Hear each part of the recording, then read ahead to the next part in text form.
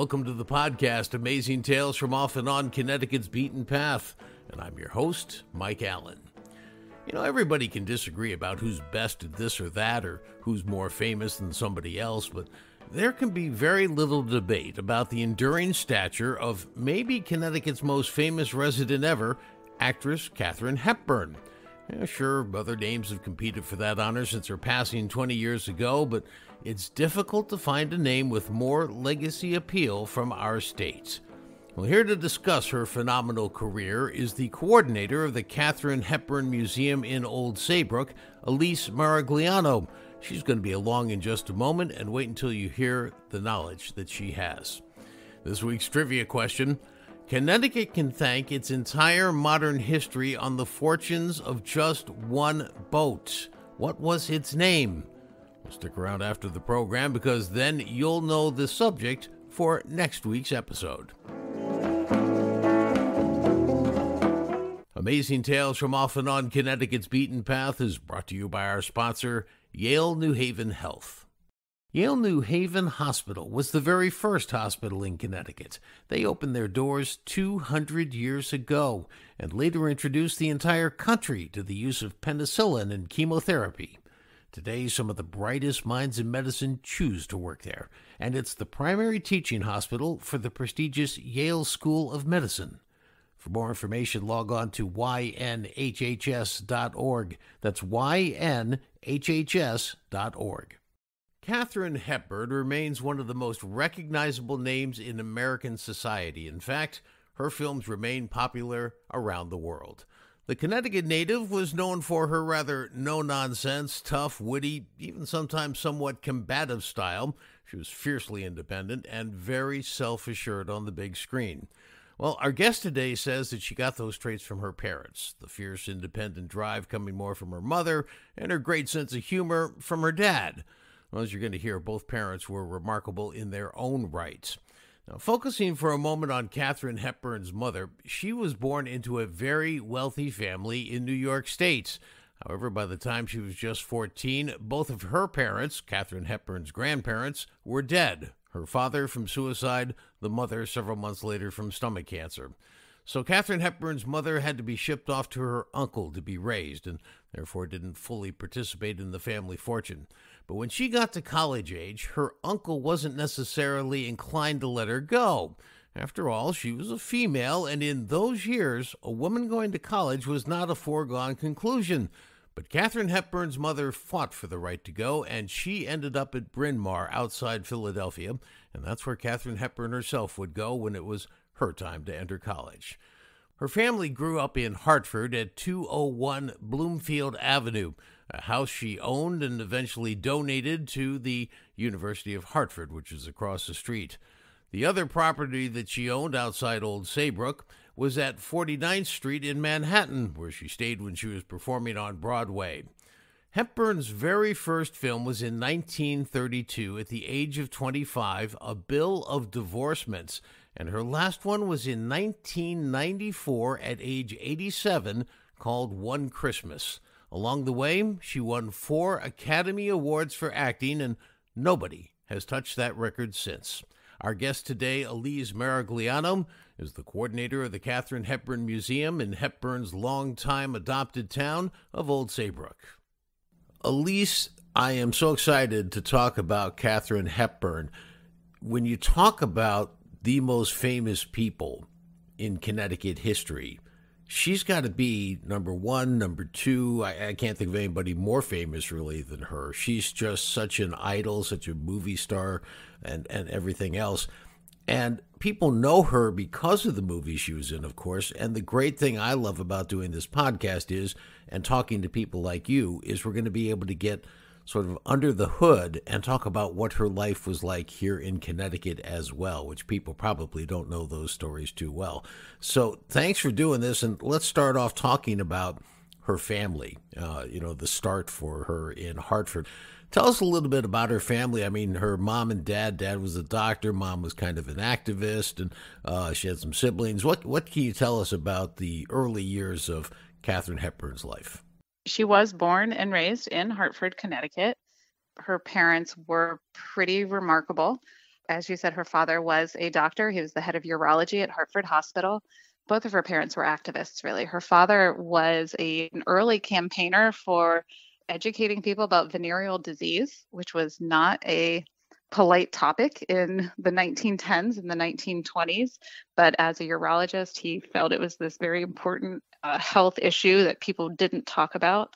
And her mother was from Corning, New York. She was actually one of the relatives of the Corning Glass family.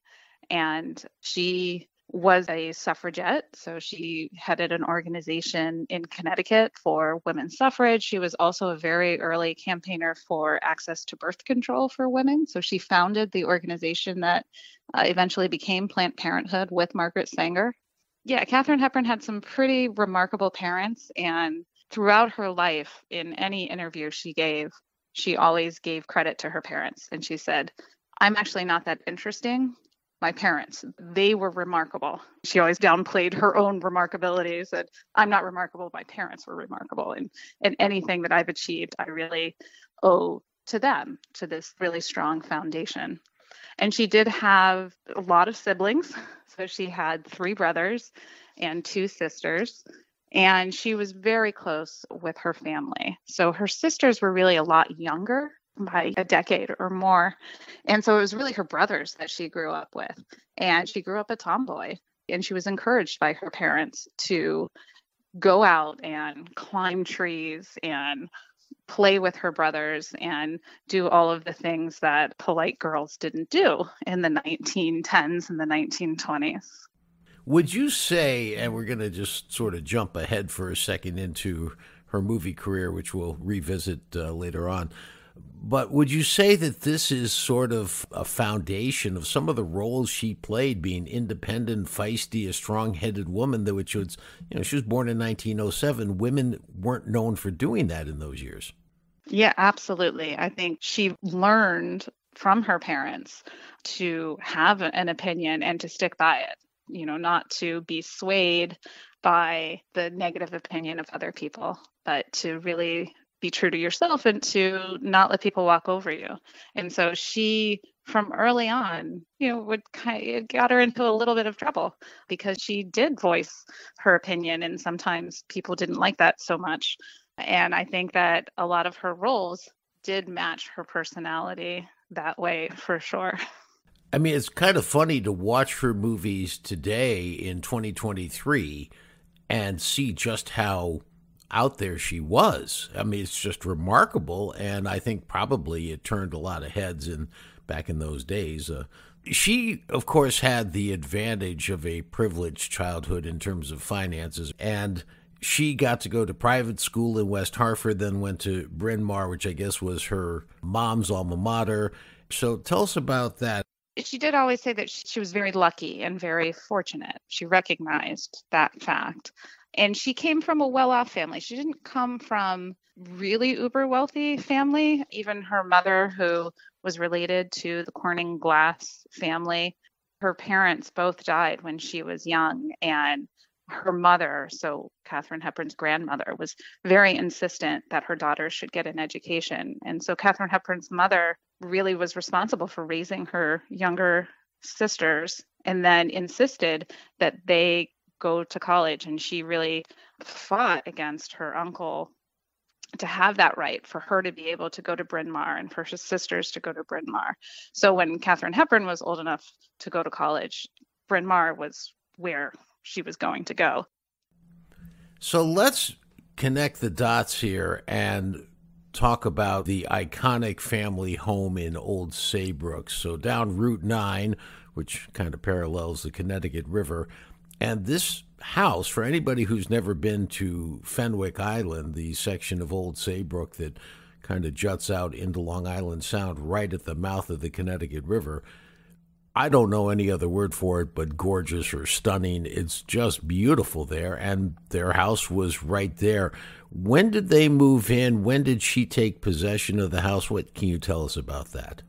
They maintained residences in Hartford so her parents bought the Fenwick home in 1911 or 1912. So when she was about five and a half years old or so, Fenwick was all summer homes for basically society folks from Hartford.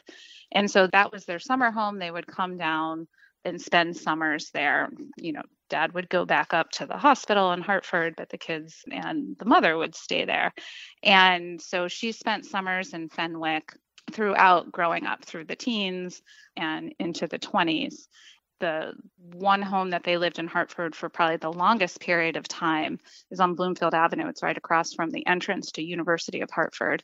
And that was the Hepburn Hartford home until Thomas Hepburn passed away in the early 60s, 1962 maybe.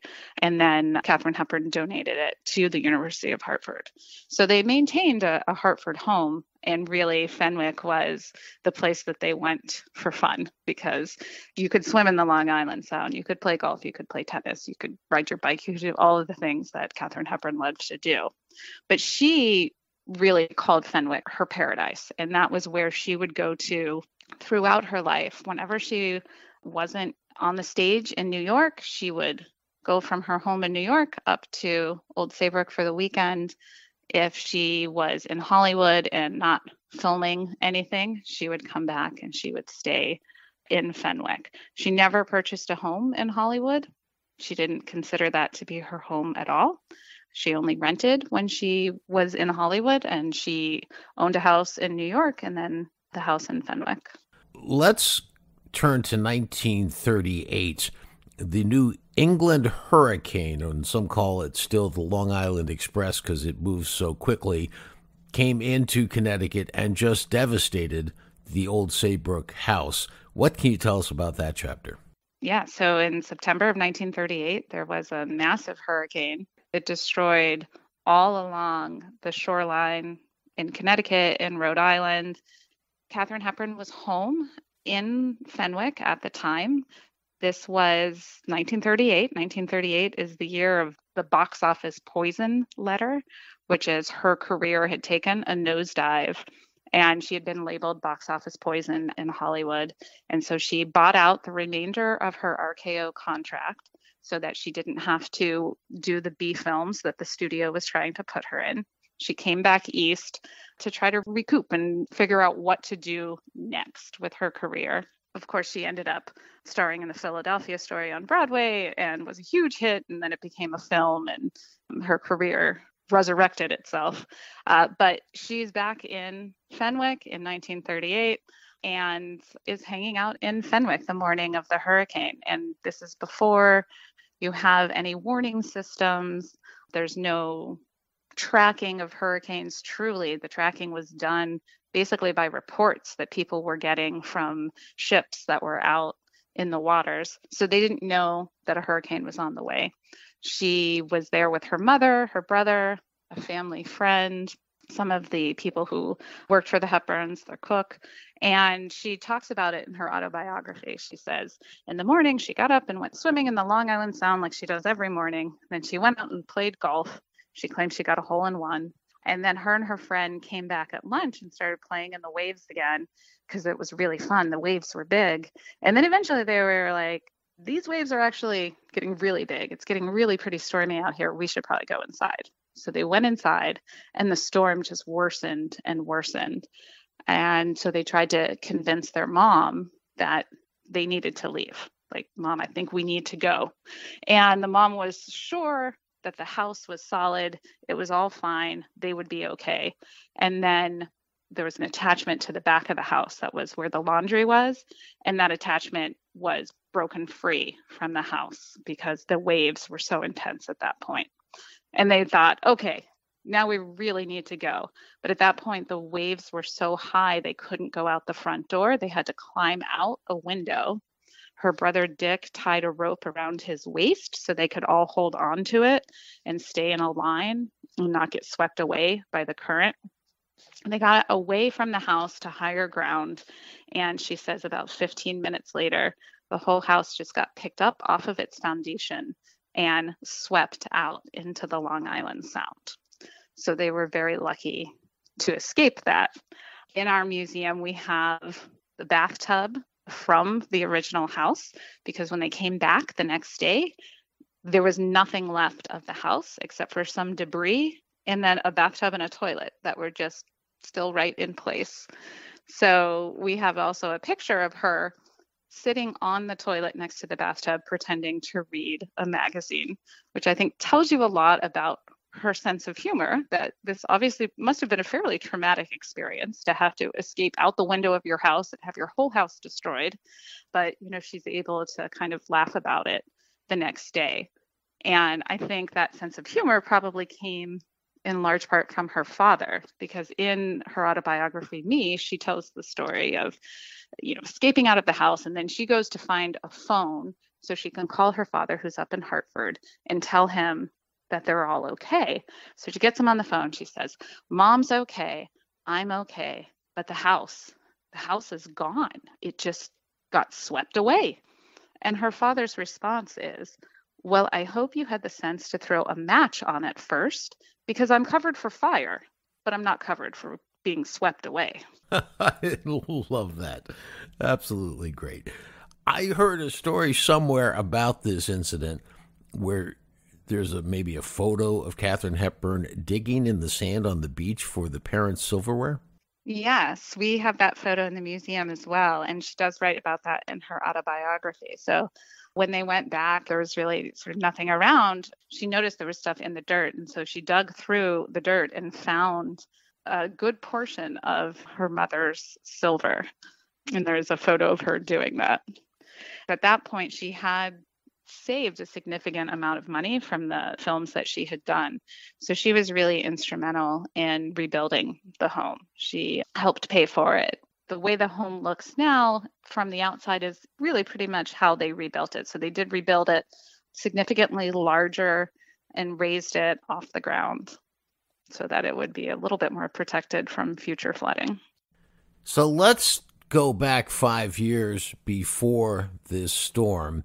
And this is when she won her first Oscar for the movie Morning Glory. And I think, just quickly so people know, she didn't actually start acting until her senior year in college at Bryn Mawr, where she was in a student play, and then was just a hit in Hollywood to get the Morning Glory assignment, and then had a couple of movies after that. But then fill us in what happened with the Poison box office letter.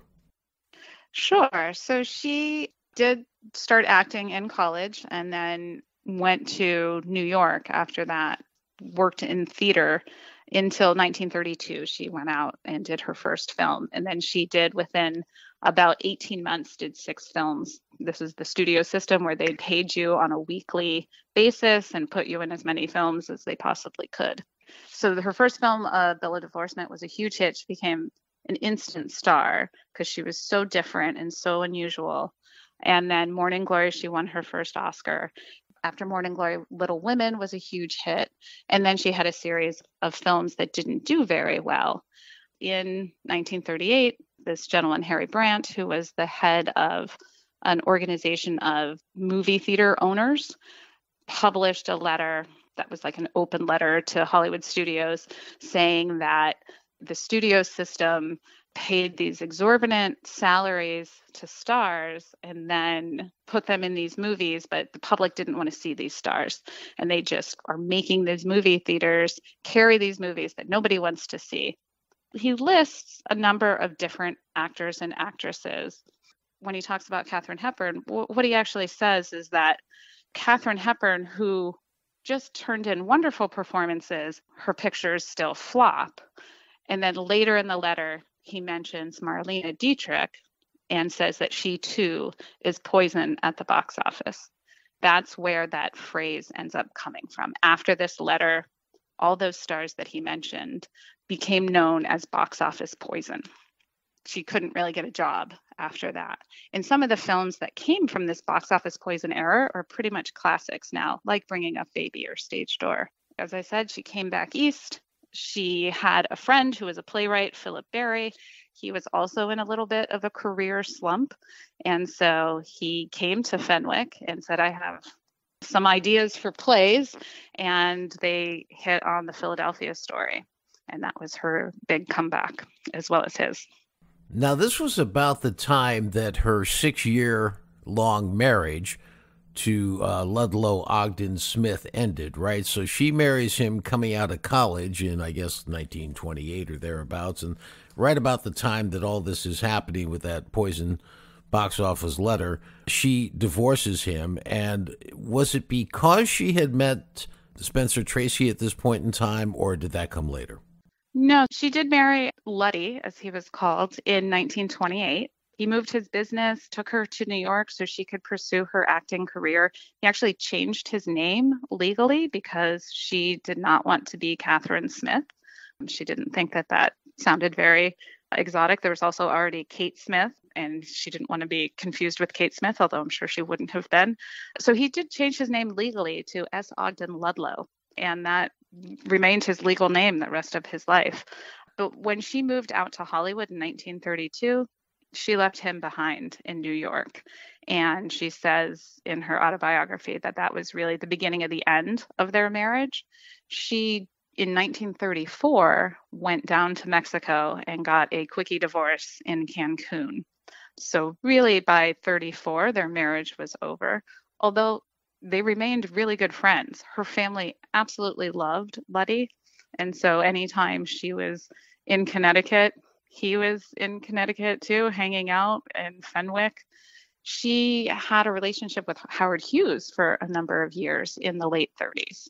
That relationship was really kind of in between Luddy and then Spencer Tracy. She didn't really meet Spencer Tracy until they did Woman of the Year together, which came out in 1942.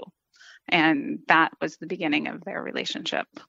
So now this was a ongoing romance between Katharine Hepburn and Spencer Tracy. And while she had gone to Cancun to get her divorce, Spencer Tracy was not able to get a divorce, was he?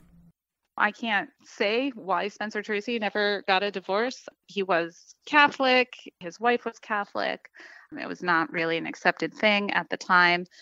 What Katharine Hepburn always says is that she didn't want to marry Spencer Tracy, that she was fine with whatever relationship he had with his family and that the last thing that she wanted was to get married again. She always said that she didn't think she made a very good wife and she wasn't interested in being one.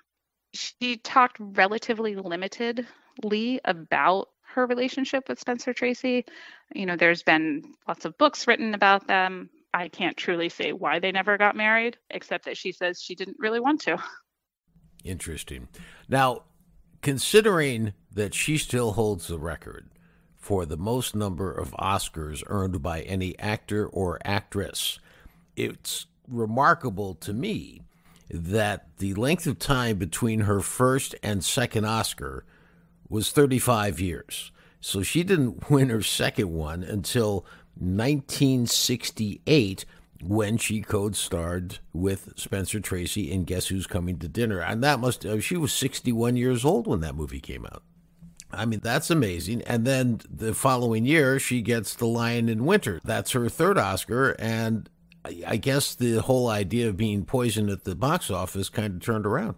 Yes, I think that stretch between acting wins is also a record. It might have been broken a year or so ago by Judd Hirsch, but it is a remarkable gap. She was nominated in between there several times. She was nominated 12 times overall. In between there, she was nominated for Philadelphia Story, for African Queen, for Summertime, for Rainmaker, for Long Day's Journey into Night, for Suddenly Last Summer. She was constantly being nominated in between those two wins from 34 and 68. But, you know, she was always being kind of beat out by somebody else. I remember at the time her refusal or uh, lack of desire to come to the Oscar presentation to pick up the awards was something that people talked about, and some were downright offended that she behaved that way. Others were th- thinking more that this just showed her independence. How do you characterize that portion of her behavior? So it's interesting because she has said different things about that over the course of her life. For a while, she said things like, I don't believe in prizes, my work is my prize. And then, kind of later in her life, starting in the 1970s, she started saying, Well, you know, I think I don't go because I'm afraid I'm going to lose. She just didn't want to have to sit there and then lose. And she was very competitive. You know, she wants to win. You know, it wasn't like a Marlon Brando kind of stand against the principle of Oscars she probably wasn't very good at also sitting through like a three hour ceremony. She had a lot of nervous energy and frenetic energy. So I don't think she was comfortable, you know, showing up. It's not really her scene either. Even in the 1930s, she didn't like going to big parties. She didn't really like the kind of red carpet scene. When I look at this entire body of work of Katharine Hepburn, another standout portion of this is that she wins her first Oscar for Morning Glory when she's 26 years old, and she wins her last Oscar when she's 75 years old in 1982 for the movie On Golden Pond. That's remarkable. She had a remarkably long career 64 years, was in a remarkable number of films, and she constantly went back to the stage throughout her life. She performed on stage every single decade in the museum, we have a couple cases that are dedicated just to her career. And, you know, I always call it the earlier career and the later career. And then I laugh because I say the later career covers 1950 through 1994, which is longer than most people's careers in general, not just the second half of it. Exactly. It's amazing that at age 87, she made her final film called One Christmas so now she's in her 90s. She's proven everything she needs to prove to herself and to anybody else who was was watching. And she is living in her wonderful home in Old Saybrook. And at the age of 96 in 2003, she finally passes away. What can you tell us about that? So she officially retired to Old Saybrook in 1997 and stayed in her home in Fenwick. She did pass away in the home in Fenwick it was massive news that, you know, there were news helicopters taking footage of the home. The police came and kind of shut down the streets around there so that you weren't getting reporters or curious people trying to sort of you know come in and come into the house or things like that my understanding is it was a bit of a press zoo at the time because it was such major news Wow. Let's uh, finish this with a question about the museum. What will people learn coming to the museum? There's information in there about her family and her time in Old Saybrook.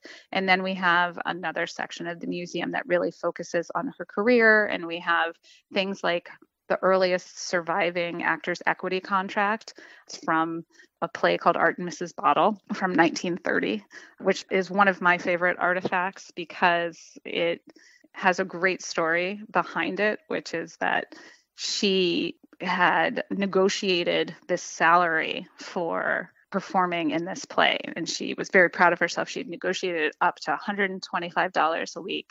And then she had some altercations with the director the director fired her and then they tried to find a replacement for her and couldn't find a replacement. So they came back to her and said well will you come back to the production? And she said yes i will but now you have to pay me $150 a week because you hurt my feelings. So we have that contract with $150 on it which is wonderful. We have a pair of boots from the African Queen on display.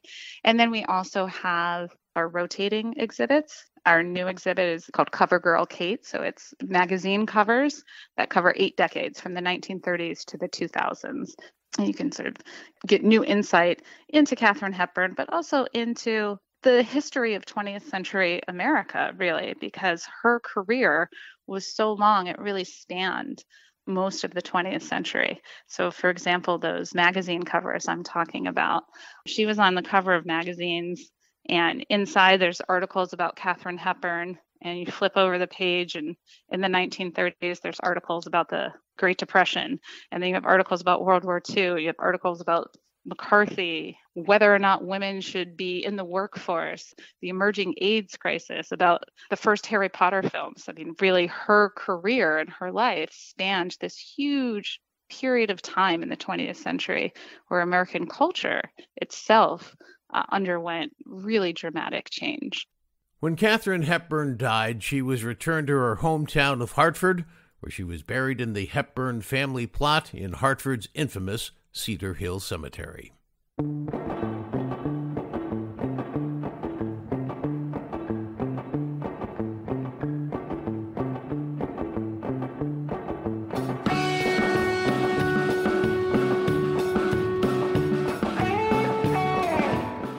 Wraps up this episode of Amazing Tales from Off and On Connecticut's Beaten Path. You really have to get to Old Saybrook to see the Katharine Hepburn Museum, and after you take in the exhibits there, drive down to Fenwick Island, not far, about two miles, and see her former home at the beautiful spot where the Connecticut River enters Long Island Sound. I want to thank our guest for today's program. She's Elise Maragliano, and she is the coordinator of that Katharine Hepburn Museum.